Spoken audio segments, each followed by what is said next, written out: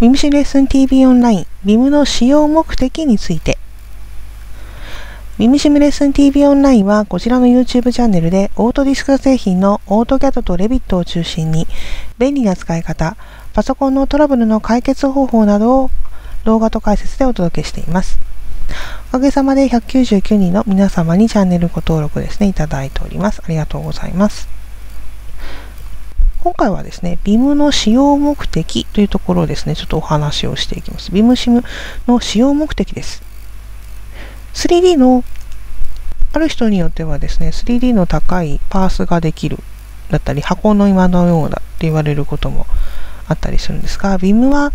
建物及びインフラの設計や設計のドキュメントに作成に使用されます。BIM では建物のあらゆる細部をモデル化することができ、このモデルを分析に使用すれば、設計のオプションの調査ができるほか、他、ビジュアライゼーションを作成し、着工前に関係者に建物の外観を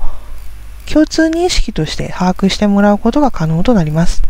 その後、モデルを使用し、建設用の設計ドキュメントを生成することも可能となります。ですので、 BIM の中の一部ですね、用語建築物、建築の方になりますが、こちらの方は確認申請図をレビットまたはアーキキャドで出すという方もいらっしゃるかと思われます。ビムシミュレーション TV オンラインのお問い合わせは LINE でお受けしています。11月からですね、本格的に限定セミナーやイベント情報、お得情報などをお届けしているので、もしよろしければご登録ください。また、10月末からですね、無料のオープンチャットも始めてみました。これはちょっと実験的なものなので、どのくらいというところはしませんが、一応ですね、あの、いろんな方のご意見を聞きながら、ここで話し合ったことをですね、動画等でお伝えしていくという企画も考えておりますので、